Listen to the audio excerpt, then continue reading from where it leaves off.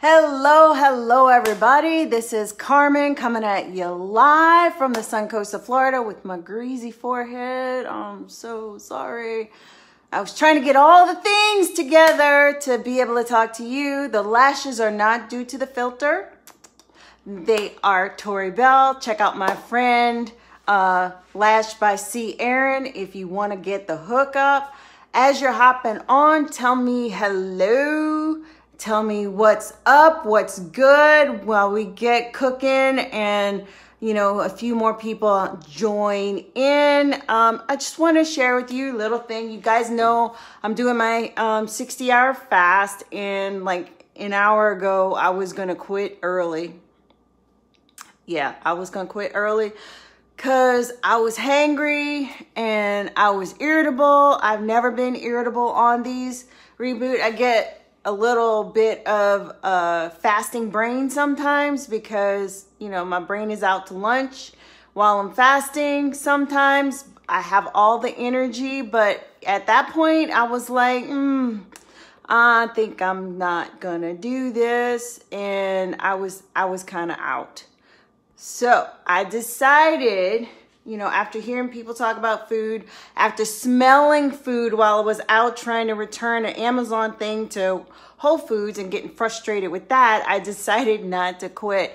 Hey, Betty, good evening to you in Grenada. Hello, Karen. Karen, tell us where you're watching from. Oh, you put it already. Shout outs to Long Beach, California. Hey, yeah, so I came back and I got one of my up drinks and with that tropical flavor that I love and I decided I'm gonna tough it out because I was I was gonna just make a, a fat burning shake instead and break my fast and call it a day. But we did not.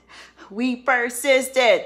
Instead I know I just said about all the cooking smells I smelled at Whole Foods and about all the cooking talk that was going on on my training. Thank you, Betty. I appreciate you. Hair is Love Me Hair, their Jheri Curl unit. So they had a sale recently. You can check that out too. I'm loving me some Love Me hair. You know, I got the wavy one. This one goes more with my natural hair while I'm growing it out. So that made me happy, happy, happy. And we're going to get into some banana bread. You guys, Tell me this is banana keto friendly? Let me know if you think that bananas are keto friendly.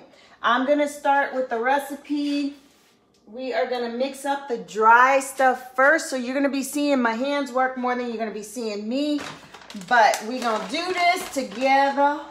Together. I have my loaf pan pre-greased.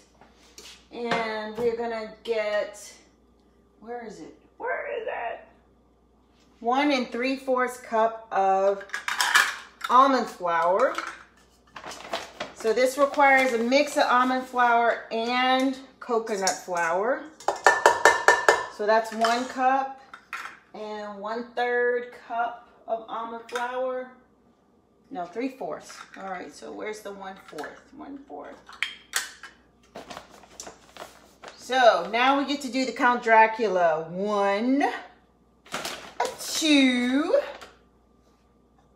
and a three. Makes the three-fourths of a cup.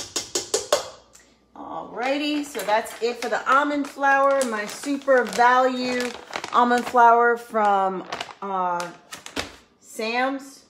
And then we're gonna have the coconut flour. We need one fourth of a cup of coconut flour. So, all right, one fourth. Now, um, pro tip, most people put the coconut flour and the almond flour in the fridge. I use them up too fast for me to have them go bad on me. I never have to worry about that. However, if you don't do a lot of baking or you're not doing keto breads and things, um, you should put it in the fridge so it won't go bad, it won't spoil. Never happens to me. I try to make sure I get bags that are easy close, like these, and then it's all good. And then we have two thirds of a cup of sweetener. Y'all know my sweetener of choice is the monk fruit. Um, it is always sweet like sugar. So one fourth of a cup of sugar is equal to one fourth of a cup of monk fruit. And it's not gonna spike your blood sugar, folks. So we put that in. Another easy close bag. This is from uh, Amazon. So it's running about 20 $21 now. Started off at like 19 for three pounds. Again, I like more bang for my buck. Um, I bought a small bag of Swerve today at Whole Foods, but that cost me a lot.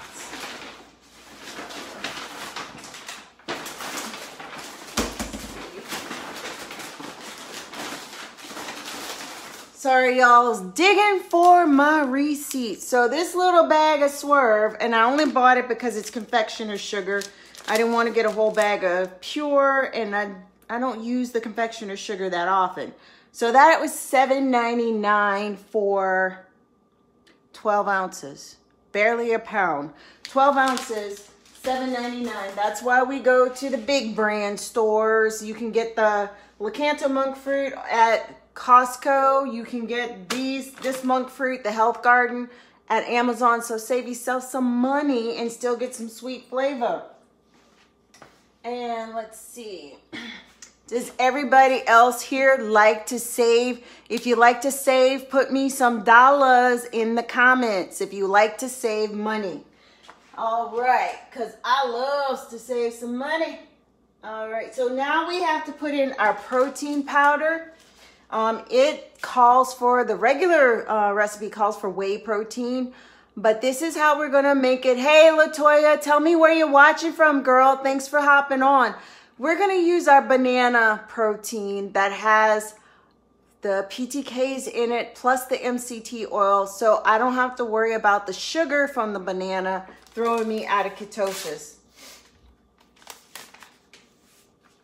All right. So if the ketones weren't going to keep you in ketosis, the, the banana protons definitely are. We're going to start to mix up our dry ingredient. Oh my God, the banana smell. Oh, woo. I love the smell of banana. I love this. This was my favorite non-dairy protein.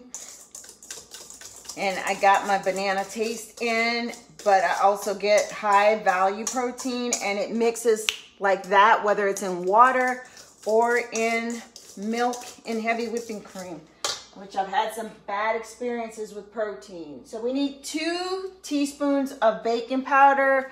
We got our keto-friendly baking powder. If you guys want to share this recipe, you can certainly share it to low-carb sites. Um, they will love this, or to dessert sites, or baking sites. Two, two teaspoons? Two teaspoons, right? Teaspoon, half a teaspoon, tablespoon. That's not right. That's half a tablespoon. We need a teaspoon. Yeah, two teaspoons. This is what's gonna help it to rise. Two teaspoons of baking powder. So we're gonna finish mixing that up and we need half a teaspoon of salt. I am gonna go like one fourth because I have salted butter instead of unsalted butter and I can taste the salt since I've been keto.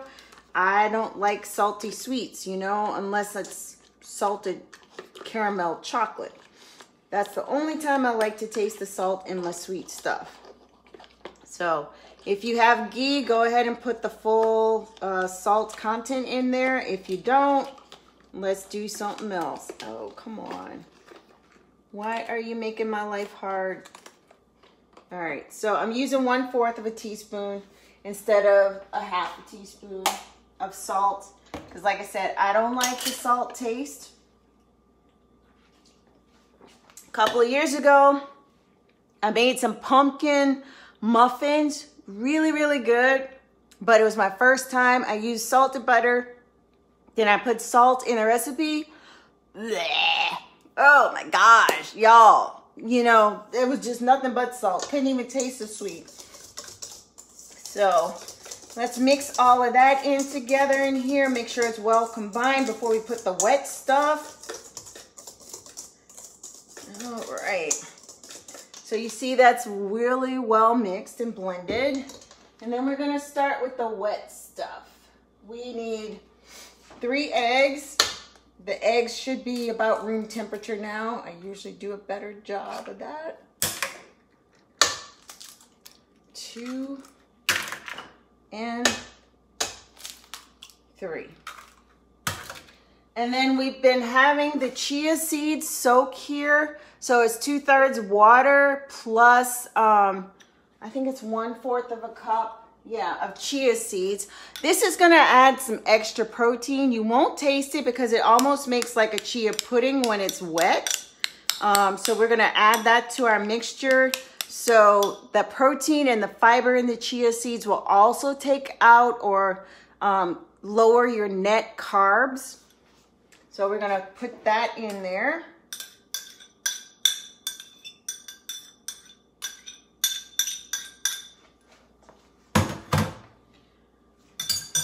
And then we need some vanilla. The only thing I didn't have, y'all, is banana extract. I really shouldn't need it with the banana protones. We need, um, dun, dun, dun, dun.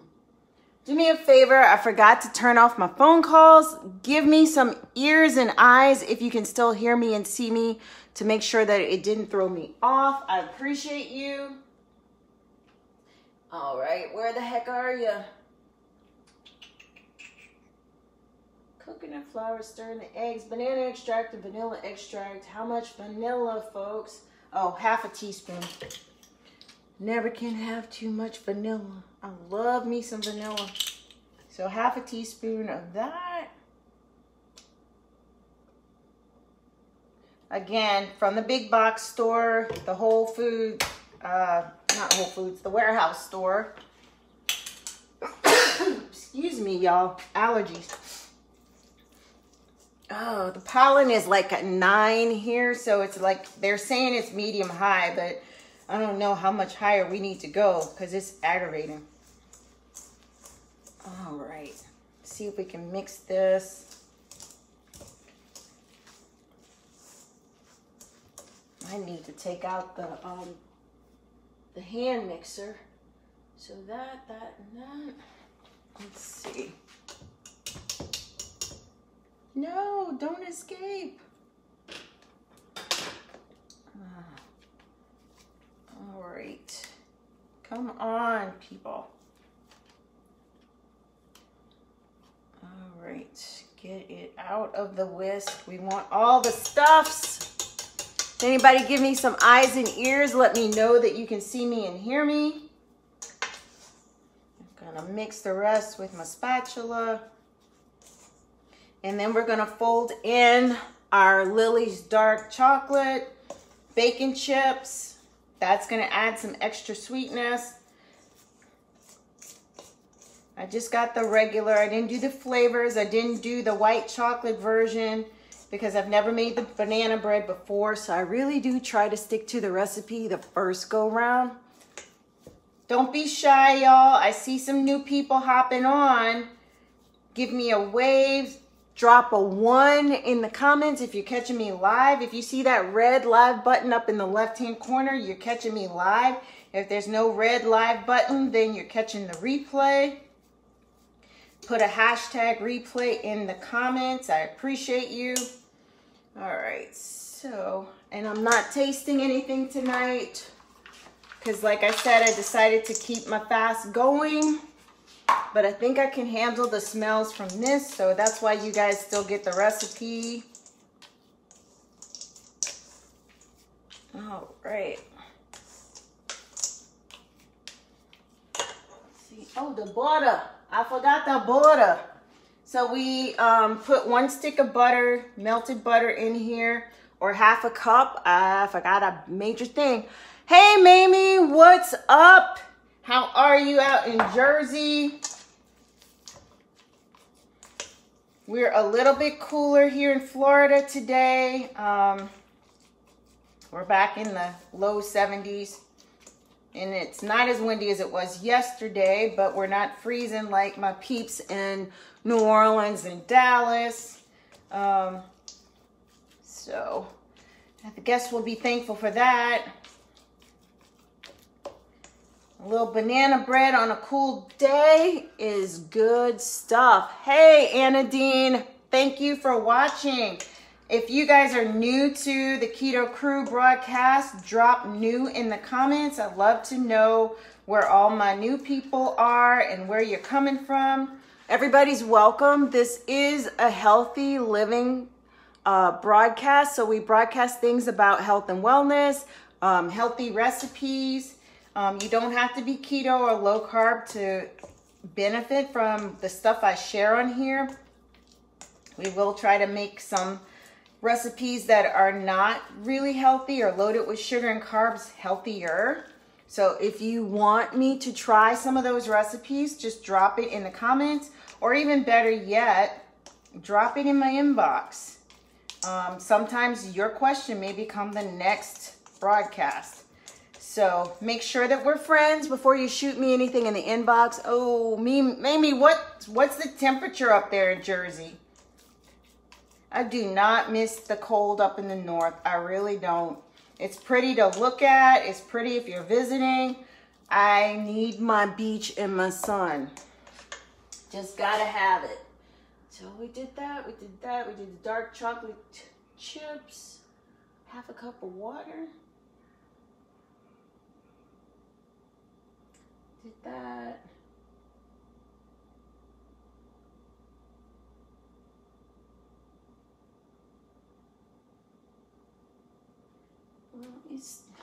I don't know how thin it wants to be. We'll see what happens with the half a cup of water. I don't know that we'll need it. Just to thin it out a little bit, they said.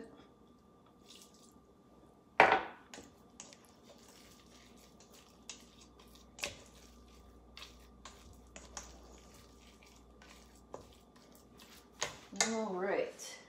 First time making this, folks, just for you guys. Um, supposed to be more like a batter. So we'll see if we can get it more batter-like with the water.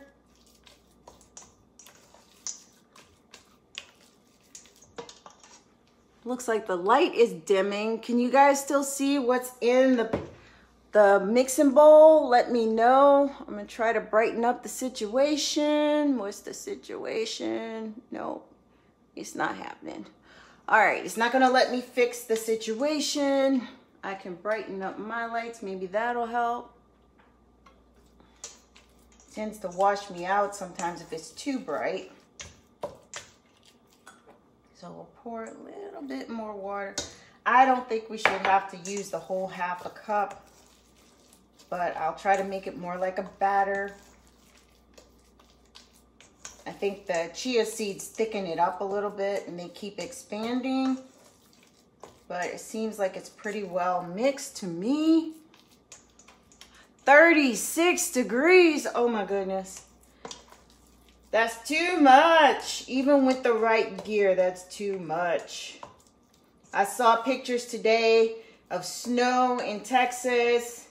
Um, I haven't seen anybody with snow in New Orleans, but we, we were definitely getting sleet. They closed the causeway that goes over the Lake Pontchartrain. They closed some of the bridges because of the ice and sleeting because y'all know we from the South. We don't know how to deal with that. We don't have no salt on the roads, none of that stuff.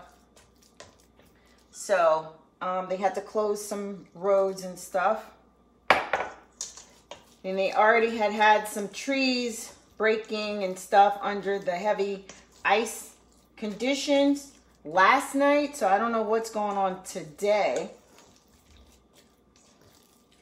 Tomorrow, no, today was supposed to be Fat Tuesday.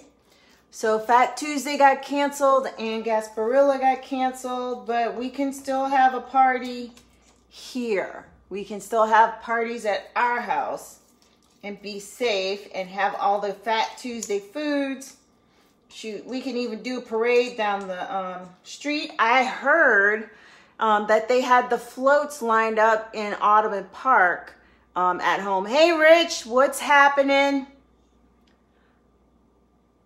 Yes, you know it. You know it, Rich. If this comes out as a success, though, because this is my first time making banana bread. So we shall see. But I'll be happy to make it for you. Can't eat it, but I'll be happy to make it for you. Because I'm mostly keto, even with my little tools to help me. I try to stay mostly keto. I think that's enough water. So we're gonna put it in the loaf pan. The oven has been heating to 350. Ooh, that smells so good. It smells amazing. So we're gonna put it in here for 60 to 75 minutes. And I will shoot a picture into the comments and into the stories so you can see what it looks like, but no taste test until tomorrow because I just can't taste it tonight. Still fasting. Love this banana smell though. So like I said, I greased the, the loaf pan. It's easier, cooks faster with the loaf pan, but you can use a nine by five if you want. A nine by five pan if you want. It's just better in the loaf pan. Oh man, that smells good. I wish I had smell-o-vision to share it with y'all. We need that one. So, clean hands, my kitchen, no snipe. So just making it even and level. Want to get all the good stuff in there tried to distribute the uh, chocolate chips throughout pretty good. And that is it before it goes in. Give me some eyes and ears if you can really see it. Hey, Mom, I'm going to save you some. Maybe I'll get brave enough to try a king cake later. Who knows? Who knows? Um, thanks for the love. If you guys love this recipe, um, please shoot me some hearts in the comments or flying up. If you love these kinds of uh, broadcasts, put a 10 in the comments. Also, feel free to share it out to your friends who want some healthy um, treats because you don't have to deny yourself all the good stuff if you are using some of my recipes. Thank you, Mamie, for the tech support. If you guys want some more of these recipes, drop recipe in the comments below and I will get you hooked up with this recipe and others. Just make sure that we're friends so that I can answer your uh, comments and talk to you in your inbox and get you into the recipe group. So that's it for tonight. Remember to play with your food and that keto or healthy eating doesn't have to be tasty, tasteless. We got lots of flavor in the kitchen, okay? Okay. Thank you for the 10, Mamie. If you share me out, put share it in the comments so I can thank you personally for the share. I appreciate you. You're very welcome, Kathleen. And I will see you guys tomorrow. Make sure you're on the VIP list so you can get notified before I go live by putting VIP in the comments. If you want Facebook to notify you, smash my face, press the three dots in the upper right hand corner and tell Facebook you want to make me a favorite because you know you do. So make me a favorite and tell them you want to see me first in your news feed. And I'm out.